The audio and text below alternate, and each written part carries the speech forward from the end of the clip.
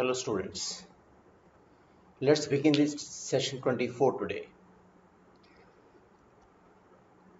What does it talk about? This session is basically talking about 10 traits. Let's uh, read them.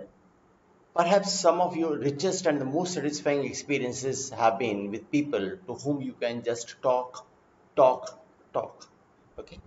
As you speak, previously untapped springs of ideas and emotions begin to flow.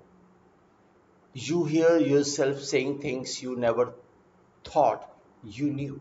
Means आप लोगों से ज़्यादा बात करते हैं Perhaps some of your richest and most satisfying experiences life में वो experience है जो आपको बहुत याद हैं have been with people to whom you can just talk talk talk जिनके साथ आप दिल खोल कर बात कर सकते हैं as you speak previously untapped springs of ideas जब आप उनसे बात करते हो तो जो आपने पहले बातें नहीं की होती untapped means not yet exploited और यूज़ काइंड ऑफ़ थिंग ऐसे इमोशंस आपके मन में स्प्रिंग ऑफ़ आइडियाज़ जो आपके मन में अकेले चलते रहते हैं and emotions begin to flow और वो निकल कर आ जाते हैं इमोशंस वो बातें निकल कर आ जाती हैं, और आप फिर बात करते रहते हैं। कितनी बात? You hear yourself saying things you never thought you knew यानी आप खुद अपने आप को सुन पाते हैं कि ऐसी बातें आप बोल रहे हैं जो कभी आपने सोचा भी नहीं था, आपको पता है। इट मीन्स क्या?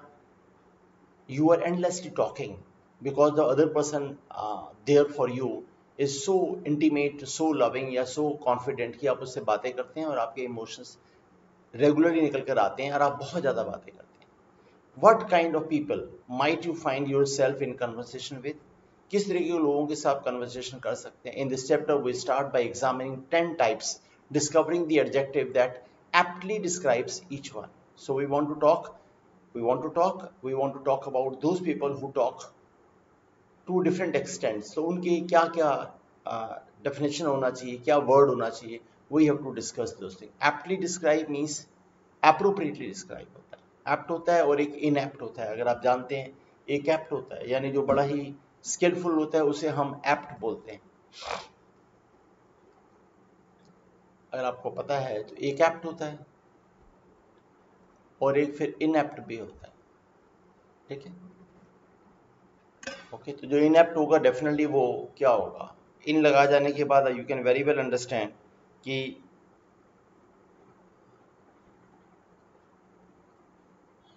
नॉट सुटेबल होना चाहिए। सो दैट इज़ इन लग जाएगा तो नेगेटिव हो जाएगा। So that should be inept होना चाहिए। Sorry this is A P T this is it is supposed to be inept होना चाहिए APT ठीक है तो aptly talking about हो जाएगा now let's talk about ideas 10 ideas we to talk about uh, in this session saying little जो बहुत कम बात करने वाले हैं क्या there are some people who just don't talk like to talk it's not that they prefer to listen good listeners hold up their end of the conversation delightfully जो अच्छी conversation का पार्ट है, आपने कॉलेजेस में पढ़ा है कि what is good conversation जहाँ पर आपका सबसे इंपॉर्टेंट है कि you are a good listener आप अपने एंड की कन्वर्सेशन को होल्ड करके रखते हैं, आप भी बोलते हैं, ऐसा नहीं आप नहीं बोलते हैं. Good listeners hold up their end of the conversation delightfully with appropriate facial expression जो गुड लिसनर होते हैं, वो एक्सप्रेशन देते हैं विद एम्पथेटिक स्माइल्स और साथ साथ में वो ऐसी स्माइल्स देते हैं ताकि आपको लगे कि वो कोई कन्वर्सेशन में इन्वॉल्व है।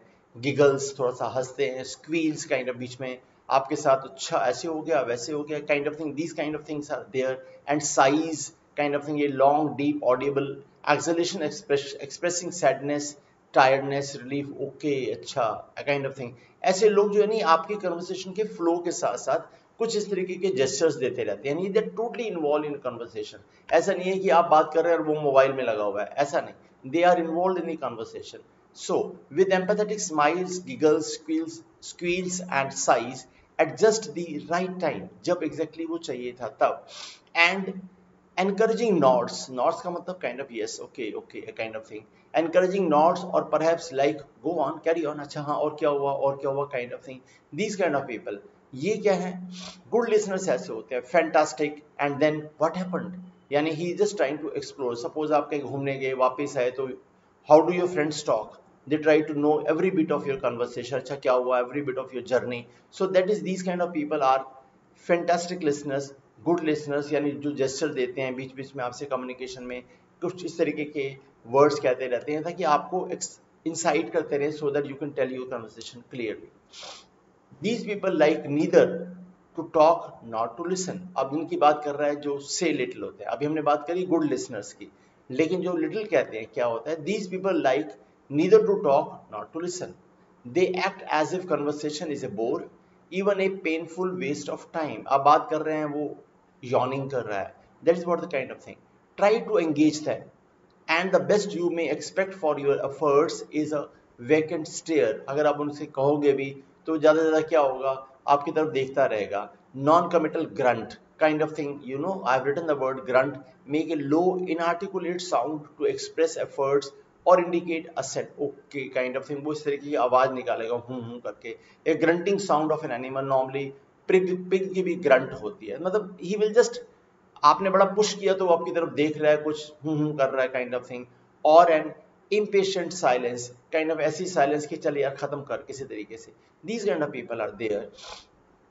Finally, in frustration, you give up. आप बात करना बंद कर देते हैं। Thinking, are they self conscious do they hate people? Do they hate me? आपको ऐसा लगता है, यार, ये सुन नहीं रहा।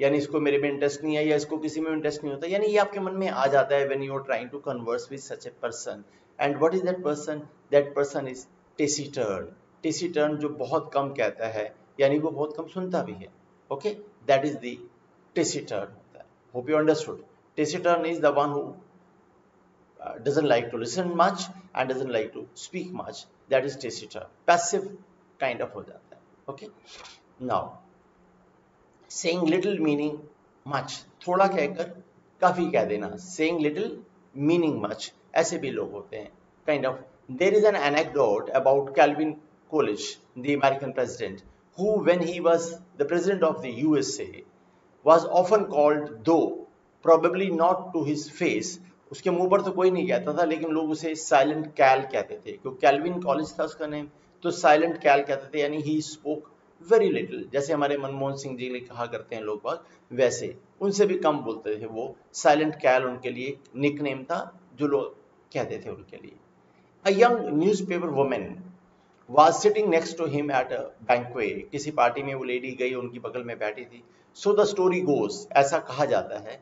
And turn to him mischievously that lady turn to him mischievously जान बुझ कर mister Coolidge she said I have a bet with my editor that I can get you to say more than two words to me this evening because वो इतना कम बोलते थे कि दो शब्दों से ज़्यादा कभी बोला नहीं। तो उस लेडी ने कहा कि आज मैं अपने एडिटर से शर्त लगा के होंगी आप दोस्त दो वर्ड से ज़्यादा बोलोगे, ये मैं गारंटी करती हूँ। Then you lose college rejoined simply college ने क्या जवाब दिया? You lose only two words not more than two you lose is enough to say the whole statement हमने पहले बोला था सेइंग लिटिल मीनिंग मच यानी बहुत कम शब्दों का प्रयोग करने वाले लोग। That is what the thing is and such a person is known as laconic okay laconic is the person जो कम शब्दों का प्रयोग करके सारी बात कह देता है, उसे लैकॉनिक कहते हैं। हालाँकि टेसिटर्न लैकॉनिक लोग सेम ही मानते हैं, लेकिन टेसिटर्न में हमने क्या समझा? पीछे वाले में, कि जो सुनेगा भी कम, बोलेगा भी कम, लेकिन this guy is listening to you but answering in a very few words kind of thing, that is the saying little meaning much, that is laconic होता है। Using very few words इसे टर्स भी कहते हैं। Banquet is you know an elaborate and formal meal for any people होता है। बैंकवे आपने देखा है। हाँ ये चीज़ एनेक्डोट का भी थोड़ा सा ध्यान रखिए। A short entertaining story about a real incident और पर्सन वो स्टोरी टेलिंग वाली स्टोरी टेलिंग नहीं है। एनेक्डोट ही सपोज़ आप ऑफ़िस आ रहे थे, रास्ते में कुछ प्रॉब्लम हो गई, आप लेट पहुँचे बॉस ने पूछा, क्या हुआ? था आपने बताया, ये हुआ, वो हुआ। That is anecdote okay a short entertaining story about a real incident और person you can very well say that is known as an anecdote now when the words won't come what under the pressure of some strong emotion fear rage anger for example people may find it difficult or even impossible to utter words कभी ऐसा हो जाता है हिंदी में बोलते हैं हम बड़े हथप्रभ हो जाते हैं यानी बहुत ज़्यादा स्टंड हो जाते हैं maybe because of fear maybe because of anger because of anything हमारे शब्द नहीं आते words we do not understand what to say to get their feelings unjumbled and untangled enough to form understandable sentences, यानी उस वक्त हमारे हमें शब्द नहीं मिलते, हम बोलने की स्टेज में नहीं रहते। ऐसा लगता है कि we are loss of we are at the loss of words they undoubtedly have a lot they want to say but the best way can do it splutter वो कहना तो कुछ चाहते हैं, लेकिन वो स्प्लटर कर जाते हैं फंबल कर जाते हैं। ऐसी स्टेज में हम आते हैं कि हमें you know it is very difficult to say that time that is आप स्प्लटर करते हैं फंबल करते हैं बॉस से छुट्टी मांगनी है, आपको पता है स्ट्रिक्ट बॉस है, हो सकता है वो, आप वहाँ स्प्लटर करें, आपने अपनी गर्लफ्रेंड को प्रपोज कर रहे हो तो kind of thing you will have to frame sentences तब भी हो सकता है आप ढंग से ना कह पाओ। यानी ऐसे इमोशनल मोमेंट के ऊपर जब आपके वर्ड्स नहीं आ रहे होते, आप सेंटेंसेस फ्रेम नहीं कर पाते, आप स्प्लटर कर जाते हो, यानी स्टटर कर जाते हो, या स्टैमर कर जाते हो kind of thing and then we say you are inarticulate you are inarticulate यानी आप समझ नहीं आता unable to express oneself clearly और easily then you are inarticulate यानी जल्दबाजी में आपने कह दिया suppose you have to take some permission from father then you are there in front of him and you have not been able to frame sentences then what आप कुछ कहते हैं उनको समझ नहीं आता पता क्या कहना चाहता है means what you are inarticulate that time okay articulation is something speaking something fluently other person can understand when you are loss of word when you say something which is mixed and सामने लोग को समझ नहीं आता क्या कह रहा है तो inarticulate हो जाता है keep this word with you this is very important okay keep using it then much talk little sense ऐसे आपको बहुत लोग मिलेंगे Miss Bates a character in the novel Emma by Jane Austen आप स्टोरी सुनते हैं so obliging of you know we should not have heard if it had not been for this particular circumstances हमें पता ही ना चला होता अगर ऐसे माहौल ना होता और for being able to come here so soon कि वो इतनी जल्दी यहाँ पर आ रहा है आ रही है उसकी मदर आ रही थी basically of her being uh, able to come here so soon. My mother is so delighted. She's so happy for she's to be three months with us at least now. In three months, she says so positively as I am going to have the pleasure of reading to you the reading to you मतलब आपको बता रही हूँ kind of thing. The case is you see that the Campbells are going to Ireland. Miss Mrs. Dixon has persuaded her father and mother to come over and see her directly I was going to say, but however, different countries, and so she wrote a very urgent letter to her mother or her father. I declare I do not know which it is. मुझे नहीं पता daddy को लिखा mother को लिखा but we shall see presently in Jane's letter अच्छा पढ़ लेते हैं जिनके लेटर में कल। मतलब शी वांटेड टू से वो that she is coming to meet us after for three months something लेकिन आप देखिए, पिछले सिक्स सेवन सेंटेंसेस में हमने बात को घुमा फिरा कर, काफ़ी सारे वर्ड्स का यूज़ करके हमने एक बात कहने की कोशिश करी है, जो ढंग से समझ नहीं आई। But such a person the one who uses many words और continuously frame sentences and talk is known as garrulous होता है। Much talk little sense हो जाता समझ नहीं आता। That kind of person is garrulous हालाँकि हम टॉकेटिव का भी सिनोनिम आपको गैरुलस ही बताते हैं। Now he is trying to tell you garrulous is something जो बहुत बातें करे लेकिन आपके पल्ले एक शब्द भी ना पड़े या समझना है, कहना क्या चाह रहा था? दैट इज़ गैरुलस हो जाता है। Okay now unoriginal some people are completely lacking in originality and imagination, and their talk shows it everything they say is trite hackneyed commonplace humorless their speech patterns are full of cliches and stereotypes their phraseology is without sparkle वो जो बोलते हैं बड़ा boring होता है उसमें कुछ भी एक्साइटमेंट नहीं होती आपको लगता है यार पहले भी बोला हुआ है या सुना हुआ है यानी ज़्यादा जूस नहीं होता उनकी कम्युनिकेशन में very boring kind of thing now you see the word trite hackneyed commonplace सबका एक ही मतलब है बोरिंग मतलब मोनाटनस है। कॉमन प्लेस का मतलब भी मोनाटनस है मतलब जो रूटीन में होता रहा हो, उसके अलग अलग वर्ड मैंने आपको लेकर दिए हैं। काइंडली लर्न दैट ऐसे आदमी को आप बोलेंगे, ऐसी कम्युनिकेशन को क्या बोलेंगे? Banal banal is again insipid you know routine monotonous run of the mill cliche all this kind of thing यानी ऐसी कम्युनिकेशन जो बोरिंग टाइप की हो, जिसमें कुछ भी जूसी ना हो और आपको बड़ा ऐसा लगे कि उसमें सब कुछ अनओरिजिनल है स्टीरियोटिपिकल है, पहले भी ये वो बात ऐसे कर चुका है तो क्या आपका इंटरेस्ट लूज हो जाता है? Such communication is banal monotonous words words words what? They talk and talk and talk. It's not so much that quantity you object to as the repetitiousness, कि वो इतना ज़्यादा बात कर रहा है कि आप उससे परेशान है? नहीं, आप परेशान है उसकी रेपिटिशियसनेस से। They phrase rephrase and re rephrase their thoughts using for more words than necessary एक बात को घुमा घुमा कर, उसी बात को चार बारी कहकर आप कहते हैं, उसको अननेसेसरी वर्ड्स का यूज़ करते हैं। ओवरवेलमिंग यू विद वर्ड्स इतने ज़्यादा वर्ड्स आते हैं, आप पगला जाते हो। Overwhelming you with words drowning you with them until you only thought is how to escape और maybe how to die kind of thing jokingly कह रहे हैं। यानी इतने ज़्यादा शब्दों का प्रयोग होता है, आपको आप उसे कहना चाहते हो, भैया, जल्दी बता। समझ आ रहा है। लेकिन वो काफ़ी शब्दों का प्रयोग करके बोलता है। ऐसे पर्सन को आप क्या बोलेंगे? ऐसी कम्युनिकेशन को क्या बोलेंगे? वर्बोस हो जाएगा। This kind of communication is verbose हो जाएगा। ओके वर्बोस यूजिंग और expressed in more words than are needed overwhelm you know emotional हो जाना having string strong emotional effect on you and then banal तो हम पहले भी बात कर चुके हैं। Words in quick succession. They are rapid, fluent talkers. The words seeming to roll off their tongues, okay, with such ease and lack of effort, and sometimes with such copiousness that you listen with amazement इतना ज़्यादा fluently बात करते हैं और शब्द आते रहते हैं रिपीटेडली नहीं होता जो हमने पीछे बात किया था। बोरिंग नहीं होता कुछ नहीं होता। अब आप सरप्राइज़ रहते हैं कि अरे वाओ मतलब कंटिन्यूसली आदमी बात करता है ऐसे वाला। और एंटरटेनिंग भी होता है। कोपियस यू नो अबंडेंट होता है प्लेंटीफुल होता है। Such a person is known as voluble फिर हमने लिखा garrulous now you can understand garrulous हम पीछे बात करके आके हैं। वो टाइप ऑफ़ गैरुलस अलग है। यानी वो आपने समझ लिया है। लेकिन हाँ ये पर्सन जो कंटिन्यूसली टॉक करे, जिसमें वर्ड्स की मोनाटनी ना हो और सब कुछ नयापन हो that kind of communication is known as voluble person भी वॉल्यूबल हो सकता है। ठीक है? Words that convince. They express their ideas persuasively. बड़ा कन्विंसिंगली आपको अपने आइडियाज़ पेश करते हैं forcefully brilliantly and in a way that calls for over overhearted assent आपको, आप ओवर हार्टेड असेंट आप अग्री कर जाते हैं ओके हाँ फ़र्स्ट क्लास है, ठीक है, सही कह रहे हो। And agreement from the intelligent listener जो सामने सुन रहा होता है, उसकी बात से कन्विंस हो जाता है। ऐसे कन्विंस करने वाले लोगों को क्या बोलेंगे? कोजेंट ऐसी कम्युनिकेशन क्या है? कोजेंट एक्सप्रेशन होते हैं। कोजेंट मतलब कन्विंसिंग होता है, जिसमें कोई भी डाउट नहीं बचता है।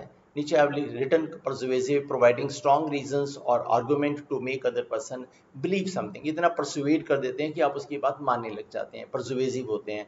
तभी तो आप नॉट कर रहे थे और क्या कोजेंट कन्वर्सेशन होती है कोजेंट एक्सप्रेशन होते हैं। यानी आप उसका जो दलील जिसे कहते हैं, वो ऐसी होती है कि आप उसको बात को मान लेते हैं। So one is voluble continuously बात करना और वन इज़ कोजेंट जो कन्विंसिंगली हो गया।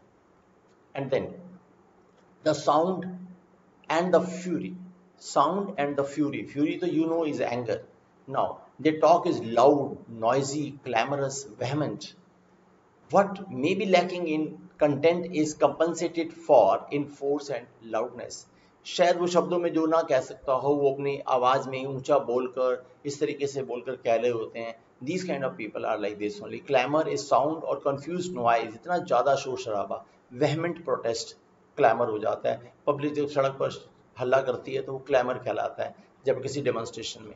Vehement showing strong feelings forceful passionate और intense I read I was reading somewhere Gandhi was vehemently oppose mean strongly intensely kind of thing vehement होता है।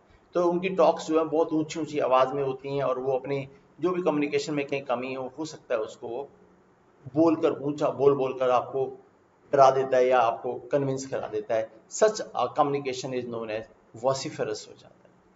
Okay and then जिसमें quantity की बात करें what they talk a great deal a very great deal they may be voluble अभी हमने बात की थी रेगुलर बोलने वाला vociferous garrulous verbose but never inarticulate जो भी वो बोलेंगे, इतना एक्सेलेंट होगा, आप सुनेंगे, आपका मन लगेगा। वो चाहे कितना भी वॉल्यूबल हो जाए, जितना भी वॉसिफरोस हो जाए, कितना भी गैरुलस हो जाए, कितना भी वर्बोज हो जाए, लेकिन उनकी बातों में नयापन होता है communication is interesting no matter it's it's the quantity and continuity that are most conspicuous. Conspicuous is I've not written, is very visible. यानी conspicuous is समथिंग आप जब उनको देखते हैं तो उनकी बात में कंटिन्यूटी होती है और नेचुरली ज़्यादा तो वो बोल ही रहा है। ऐसा पर्सन ऐसी जो कम्युनिकेशन है this is known as loquacious हो जाता है। Okay such a communication is known as loquacious होता है। अगर आप रियलाइज़ करें तो हमने जब भी आपको सिनोनिम बताए हैं, सारे सेम ही बताए हैं। But when you read this chapter बिल्कुल वो थिन लाइन पर हेयर लाइन डिफरेंस बता रहा है कि इसको गैरुलस कहना है, इसको वर्बोज कहना है, इसको लोक्वेशियस कहना है। होप यू अंडरस्टैंड याद है हमने एक बार ऐसे लायर के लिए भी एक बार एक्सरसाइज की थी वहाँ पर भी दस डिफरेंट टाइप के लायर्स बताए थे नाउ सेम कम्युनिकेटर किस तरह टाइप के होते हैं यानी वो कम्युनिकेशन के टाइप क्या क्या है we have try to tell you here in this session okay These 10 words revolve around the idea of very kinds and ways of talking and not talking. या तो बातों के लिए या not talking के लिए है. Many of the adjectives are close in meaning but each contains its unique difference. That's what I was saying. Now you can very well see कि जो silent, unresponsive होगा, वो taciturn होगा। इकोनॉमी ब्रेविटी मीनिंगफुलनेस में बात करेगा, वो laconic होगा। वो जो प्रेसिडेंट ने बात की थी। Awkwardness spluttering incoherence inarticulate हो जाएगा। मैंने कहा था, जब आप फादर से परमिशन लेने जा रहे थे तो आप इन आर्टिकुलेट थे। रैम्बलिंग चैटर गैरोलस है। इधर उधर की वो जो लेडी कह रही थी कि वो थ्री मंथ्स के लिए उसके घर आने वाले हैं, वो गैरोलस है। Then hackneyed unoriginal phraseology is banal है। बोरिंग रूटीन की बात करने वाला। वर्डीनेस रेपिटिशियसनेस वर्बोज है, जिसको आपने कहा था, जल्दी बता यार, छोटे में नहीं बता सकता। दैट इज़ वर्बोज है। एंड फ्लुएंसी रैपिडिटी होती है, वो वॉल्यूबल होता है, आप उसे एनचांटेड रहते हैं, आप सरप्राइज़ रहते हैं कि यार, इतना एक के बाद एक नया सेंटेंस आता है और वो अच्छा ढंग से बात करता है। लॉजिक क्लैरिटी परजुवेसिवनेस वो कॉजेंट होता है कन्विंसिंग होते हैं कॉजेंट आंसर्स होते हैं। देन नॉइज़ वहमेंस मैंने कहा ऊँचा ऊँचा बोलकर सामने वाले को कन्विंस करने की जो आदत है, वो वॉसीफरस हो जाएगी। And talkativeness I told you which is enchanting is loquaciousness if you read it once more revise it problem next time सबको आप गैरोलस नहीं बोलेंगे, सबको लोकवेशियस नहीं बोलेंगे। Though they are synonym but sometimes you know they're close synonym and far off synonyms you know that so that is how we have try to differentiate different talkers that's all we have in this session kindly revise this session. I always have been saying the exercises at the end of the session are immensely important. If you are doing those uh, exercises, I think you are learning a lot because that is the crux of the session. Okay, thank you very much for being with me. God bless you. Let's meet in the session 25 very soon.